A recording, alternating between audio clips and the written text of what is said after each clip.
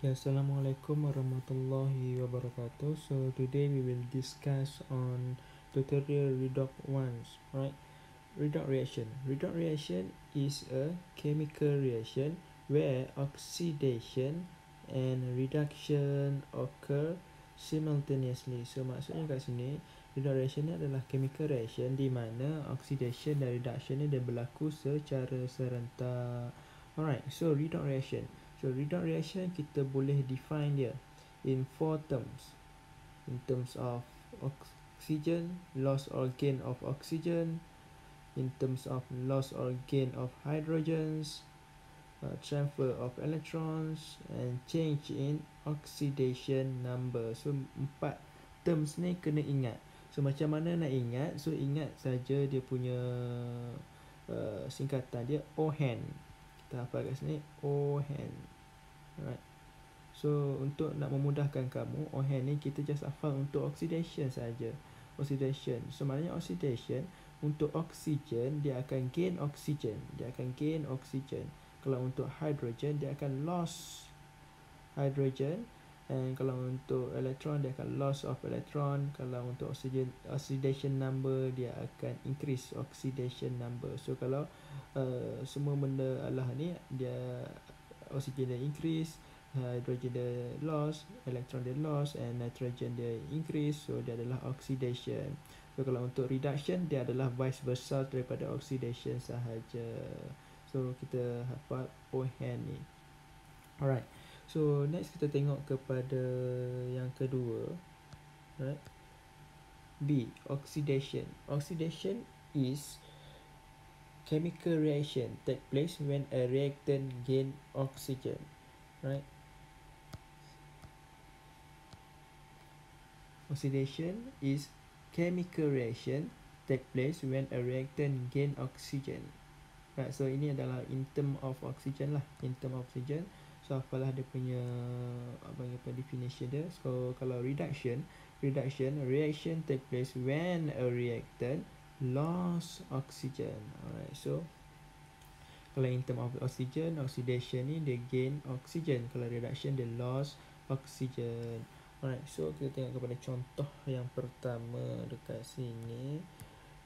Tengok contoh yang pertama. Okay, chemical reaction between copper to oxide dengan karbon akan dapat 2 copper dan carbon dioxide gas. So substance undergoes oxidation. Yang mana undergoes oxidation? So kalau kita ingat tadi oxidation adalah gain oxygen. The gain oxygen. So apa yang gain oxygen kat sini? So kalau kita nampak kat sini C. Daripada C dia jadi CO2. Right, so dia gain oxygen. Dia gain oxygen. So dia adalah proses yang berlaku kat situ adalah oxidation proses yang berlaku itu adalah oxidation. So substance that undergoes oxidation adalah C adalah carbon. Explain why kenapa? Kerana dia gains oxygen. Right yang second one substance that undergoes reduction. Reduction ni daripada definition kita dah tahu dia adalah loss of oxygen. Right reduction loss of oxygen. So kat sini kita tengok copper oxide copper to oxide jadi Cu. Maknanya oksigen dia hilang kat situ. Copper oxide jadi Cu. So mana oksigen dia hilang kat situ. So dia adalah reduction process berlaku kat situ. So si substance that undergo reduction adalah copper to oxide. And kenapa? Because it loss of oxygen. Right. So untuk pengetahuan kamu untuk kamu senang ingat kamu ingat kalau dia adalah reduction process so substance tu dia adalah oxidizing agent kalau proses tu adalah oxidation dia adalah reducing agent. Ha, ini untuk semua sama saja. Kalau saya ulang sekali lagi kalau untuk reduction process dia adalah substance tu adalah oxidizing agent. Kalau dia adalah substance tu undergoes oxidation dia adalah reducing agent. Alright so untuk yang ni oxidizing agent dia adalah copper to oxide kenapa copper to oxide kerana copper to oxide oxidize carbon kalau reducing agent adalah carbon kenapa kerana carbon reduce copper to oxide alright So apa yang dimaksudkan dengan oxidizing agent dan reduction? Apa yang dimaksudkan dengan reducing agent and oxidizing agent? So kita tengok kat sini ya. Oxidizing agent. Oxidizing agent. Oxidizing agent is a reactant. Is a reactant that oxidize another substance where itself undergo reduction. So maknanya oxidizing agent ni ada dia oxidize another substance uh, di mana dirinya sendiri undergo reduction begitu juga dengan reducing agent is a reactant that reduce another substance but itself undergo oxidation. Alright. So ini yang contoh yang kedua lah. Contoh yang kedua untuk in term of oxygen. So kita tengok kat sini lah. So PBO PBO the loss of oxygen. So loss of oxygen so the PBO ni undergoes reduction. PBO ni undergoes reduction kenapa? Kerana the loss of oxygen. Kalau H2 ni the gain of oxygen. The gain of oxygen therefore dia adalah substance undergoes uh, oxidation. So kenapa dia undergoes oxidation? Kerana the gain oxygen. Alright so oxidizing agent. Oxidizing agent adalah lead oxide. Reducing agent adalah hydrogen gas so saya ingatkan sekali lagi kalau substance that undergoes oxidation dia adalah reducing agent. Substance that undergoes reduction dia adalah oxidizing agent. Alright. So ini ingat je lah mudah saja.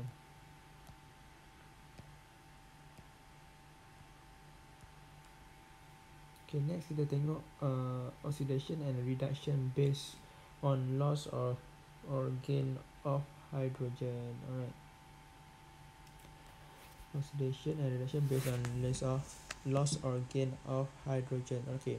So oxidation. Oxidation is chemical reaction that takes place when a reactant reactant lost hydrogen. So ingat oxidation loss hydrogen reduction reaction take place when a reactant gain hydrogen reduction gain hydrogen so ini mudah sajalah. So tengok macam tadi jugalah. So hydrogen H2S jadi S. Right so kat sini dia lost hydrogen. So bila lost hydrogen dia adalah oxidation. Chlorine gas again hydrogen. So dia adalah reduction. So sama juga lah untuk oxidizing agent dengan reducing agent dia. Right so saya cepat-cepat lah kat sini. Sebab benda sama je macam oksigen. Konsep dia sama juga macam oksigen tadi. Cuma apabila dia gain dia lost hydrogen apabila dia lost hydrogen dia adalah oxidation process. Dia berlaku oxidation process. Apabila dia gain hydrogen dia adalah reduce dia adalah reduction process berlaku dekat situ. Right so reason dia still sama. Kenapa NH3 ni adalah oxidation undergo oxidation? Kerana the loss of hydrogen. Kenapa Br2 ni adalah reduction process undergo reduction process? Kerana dia gain hydrogen right? So kita tengok kepada yang second one oxidation and reduction based on loss or gain of electron. Right. So oxidation. Oxidation is a chemical reaction take place when a reactant lost electrons. So maknanya oxidation ni dia loss of electron. Kalau reduction, reduction is chemical reaction take place when a reactant gain electrons. Dia gains electron.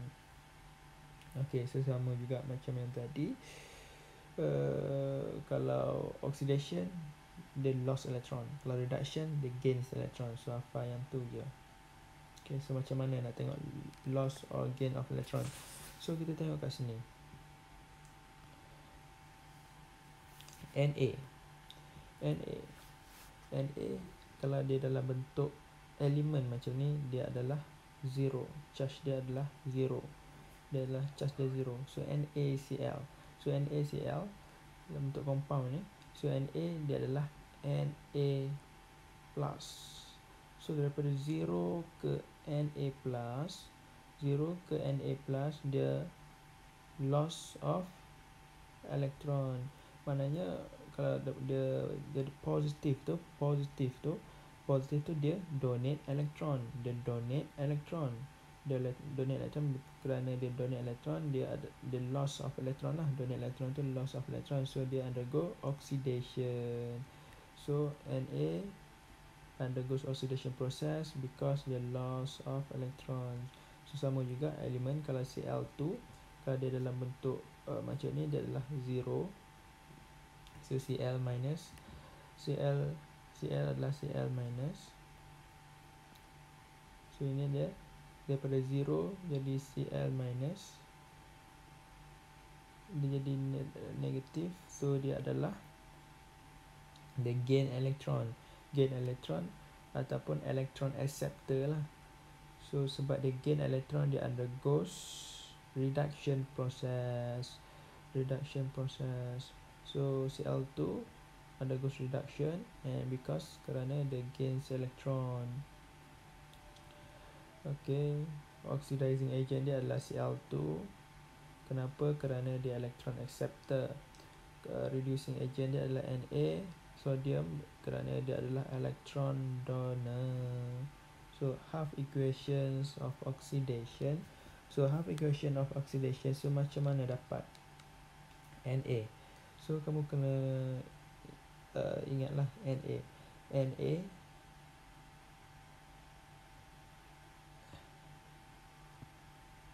Okay, macam mana dapat dia punya half equation Na, Na plus plus electron Okay, so kita tahu dia Na Na dia akan dapat daripada Na dia akan dapat Na plus Okay, so Na plus. So, mana Na plus? Plus kat sini.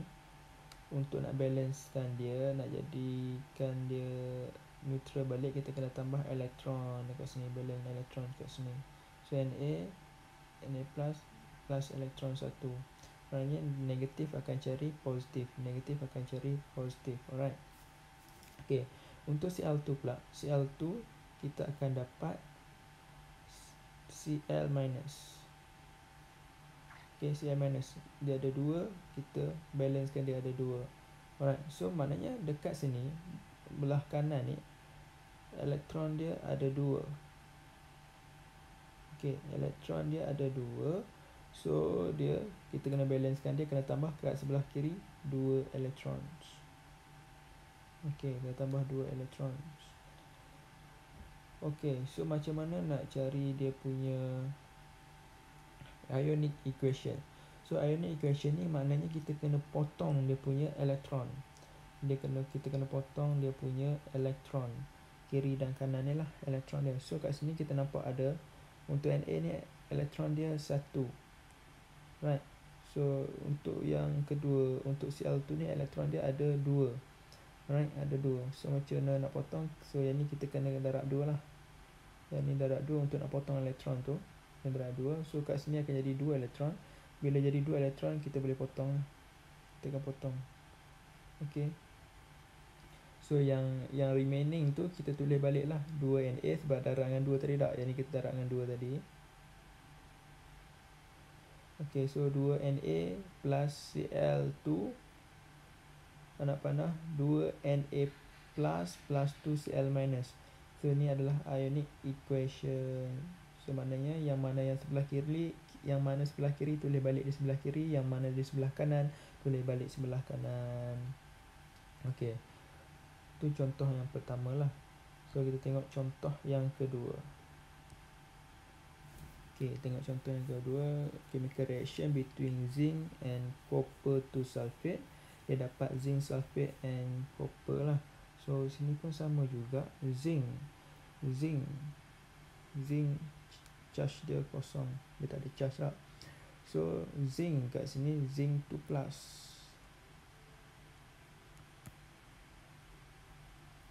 Daripada kosong kepada 2 mana kosong daripada 2 mana daripada kosong kepada pos 2 2 plus positif 2 so maknanya dia dia loss of uh, dia donate electron. Bila dia donate electron dia adalah oxidation process.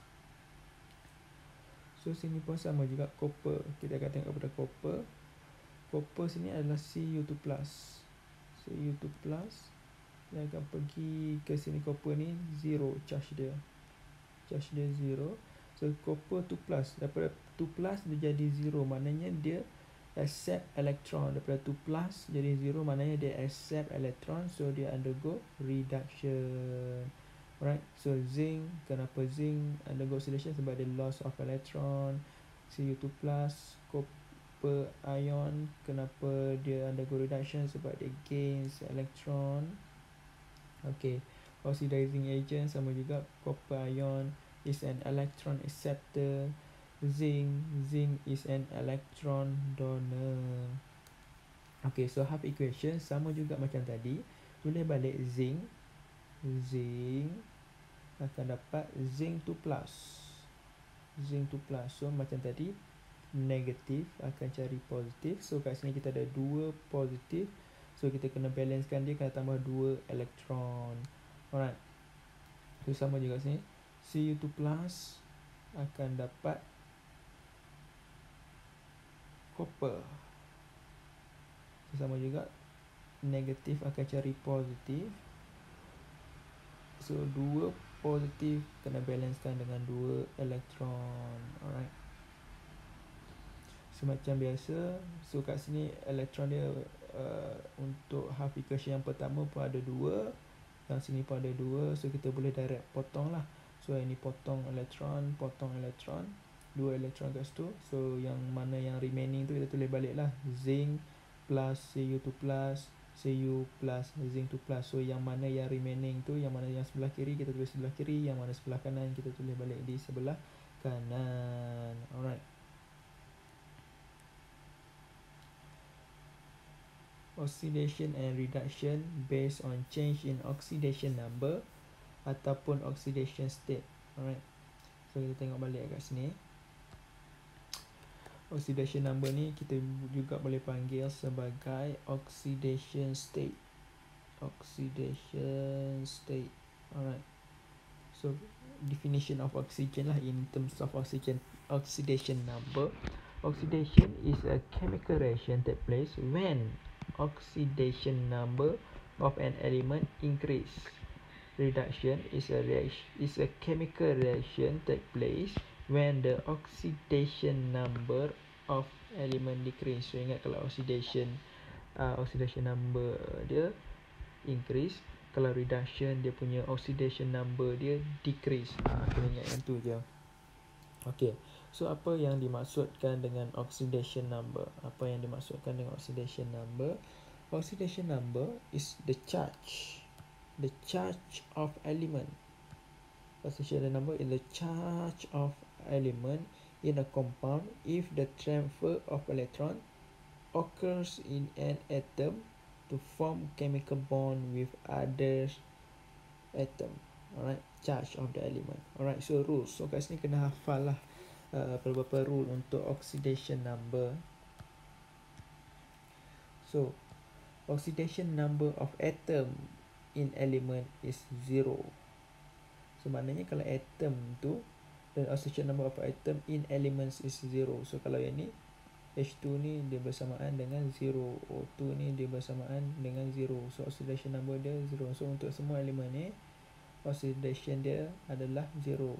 Contoh Mg Mg equals to zero. Dia punya oxidation number dia adalah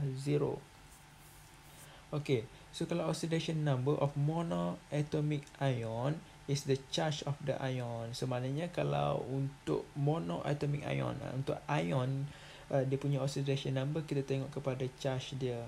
Kalau charge dia 2 plus kat sini, the oxidation number of uh, dia adalah 2 plus. Kalau charge dia negatif kat sini, so oxidation number dia adalah negatif 1 dan seterusnya lah.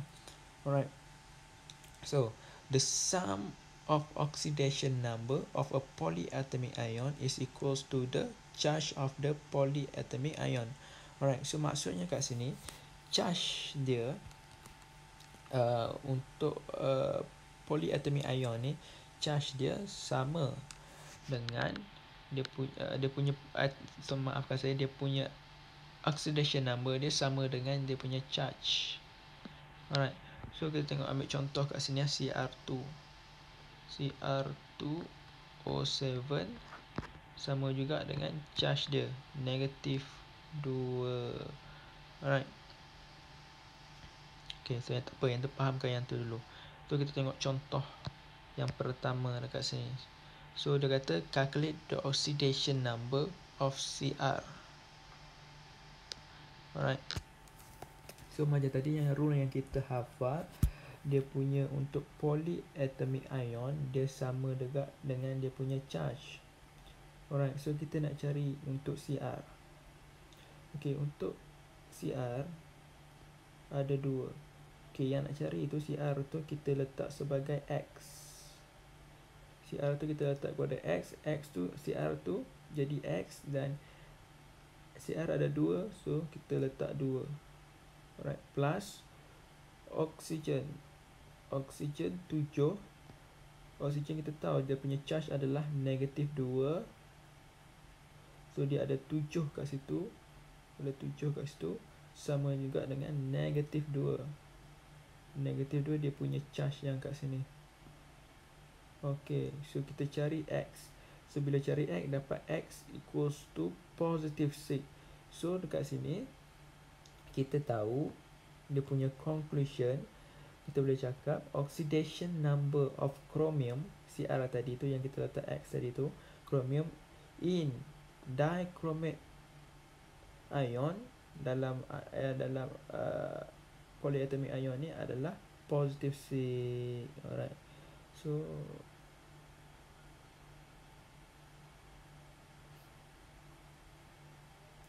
so lebih kurang macam tu lah dia punya ayat tak nak uh, nak buat ayat tu pun pastikan betul lah. Okay. so kita tengok contoh yang pertama dekat sini. Alright. So ini contoh untuk uh,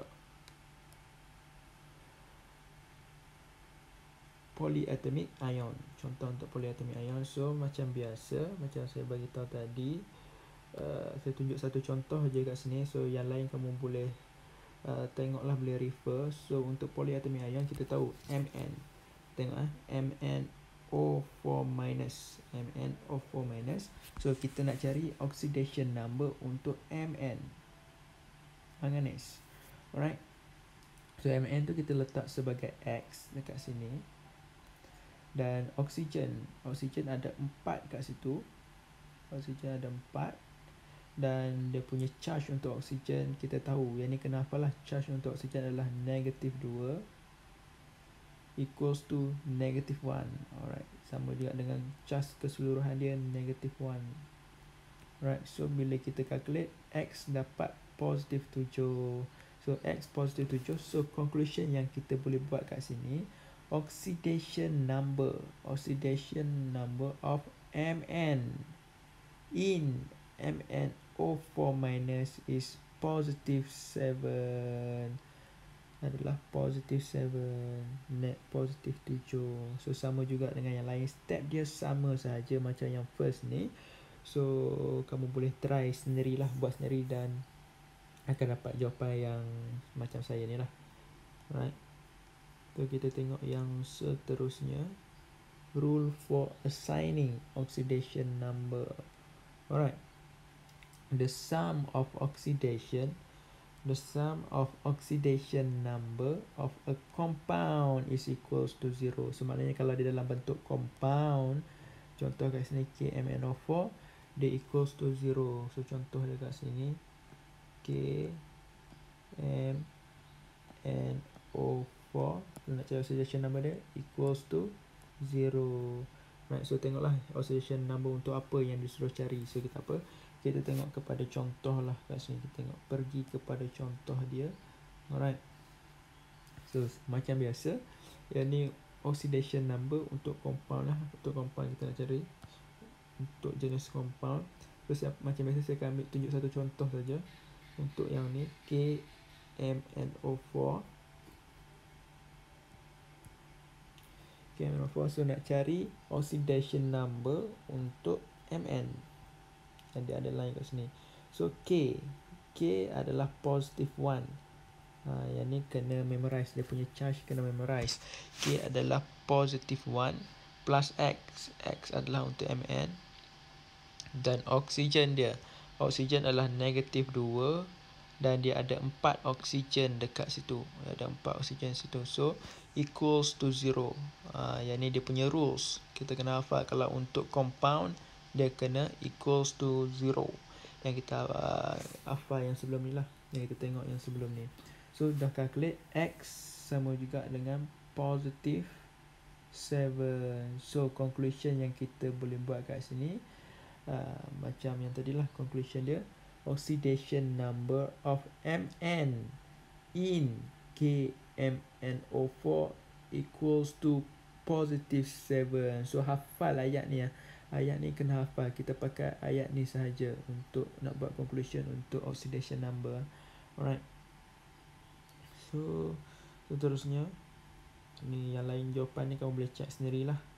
So kita tengok yang seterusnya.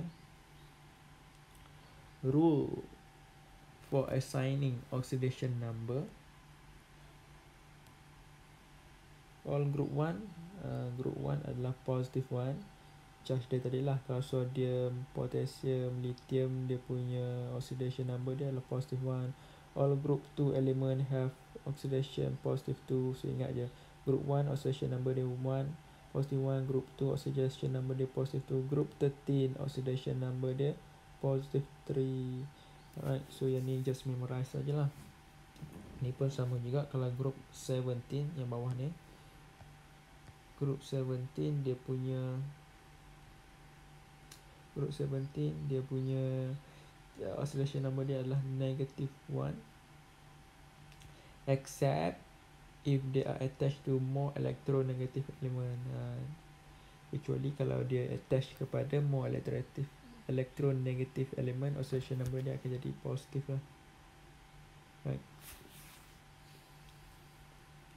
Okay so kita tengok kat bawah ni. Right contoh dia. Uh, so sama juga saya tunjuk satu contoh je kat sini. So untuk compound kita nak cari untuk CL right untuk oscillation number untuk CL so kita tahu K. K adalah positive 1 CLX X yang kita nak cari. Dan O O adalah charge dia negative 2 di mana dia ada 3 compound dekat situ so kita calculate dapat X dia equals to positive 5 uh, so maknanya ayat dia oxidation number of CL in KClO3 is positive 5 right so sama juga dengan yang lain. Kamu boleh check jawapan kamu sendirilah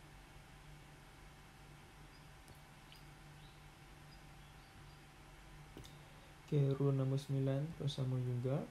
Oxygen Kalau untuk oxygen yang kita buat tadi Oxygen dia punya oxidation number dia adalah 2 Negative 2 Except in peroxide.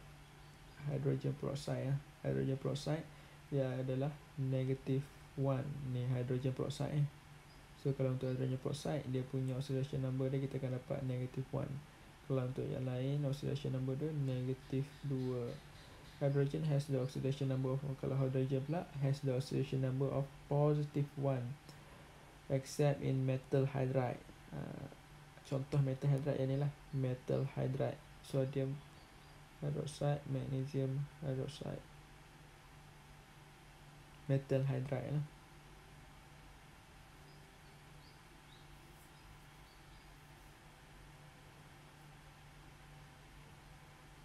Sorry bukan uh, hydroxide eh. uh, metal hydride. Maafkan saya maafkan saya. Metal hydride contoh NaH dengan MgH2 so find the oxidation number uh, of underline lah. So dia adalah oxidation number dia adalah negative 1 so kita tengok contoh yang pertama kat sini. Sama juga macam yang tadi. Calculation dia sama je macam yang tadi. Right? So kita tengok kepada H2O2 right? H2 H2 kita tahu charge dia positive 1 positive 1 dia ada dua elemen dekat situ dia ada dua elemen nak cari untuk oksigen. Oksigen oksigen kat sini kita letak sebagai X dan oksigen tu kita ada dua.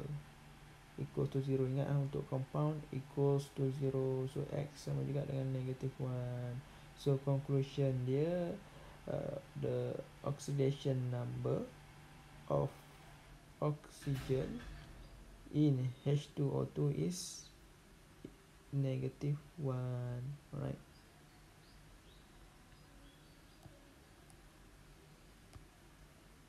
So yang ni pun sama jugalah Macam ni. Kamu boleh calculate sendirilah.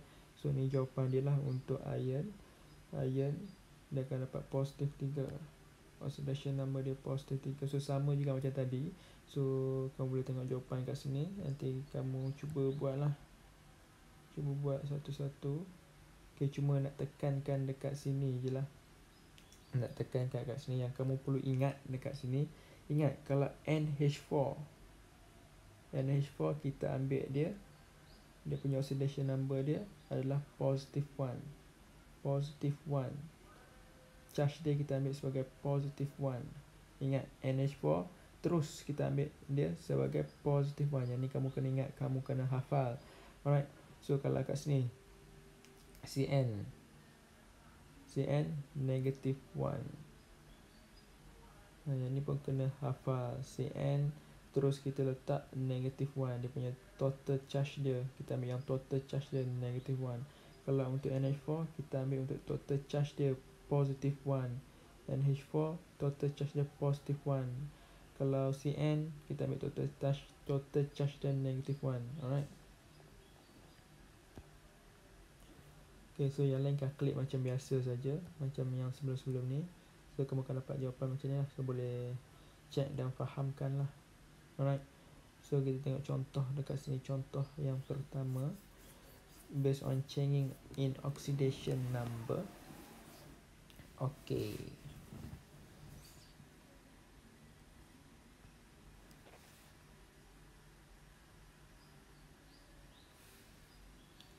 Okay, so kita tengok kat sini. Zinc plus copper sulfate, copper to sulfate dapat zinc uh, to sulf dapat zinc sulfate and copper.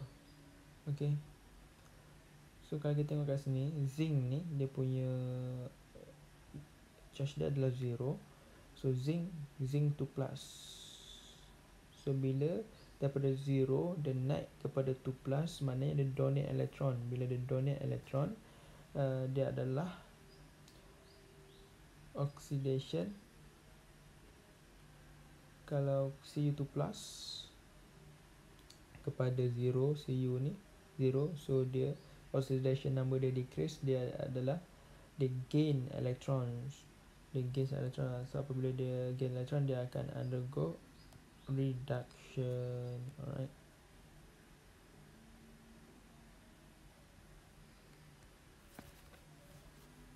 so yang lain sama je macam yang tadi.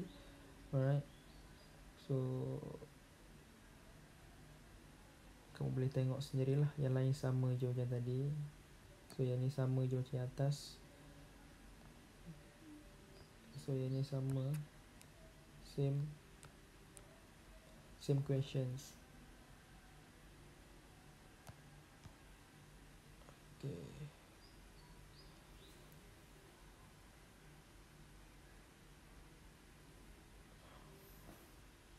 So yang ni pun kamu boleh tengok lah. Sama lah aluminium. Aluminium 0 lepas tu aluminium ni charge dia kat sini 3 plus. So ini kena hafal aluminium 3 plus. So oxidation number dia increase. So dia adalah oxidation. Uh, ini Cu Cu2 plus. Cu2 plus. So daripada Cu Cu2 plus dia pergi kepada 0 bila 0 dia gain uh, dia gain uh, electron the gain electron so dia undergo reduction. So yang lain semua sama lah kamu boleh tengok sendirilah macam mana dapat. So kamu boleh check jawapan. So yang mana tak faham boleh tanya. So that's all for discussion on the question tutorial 1 thank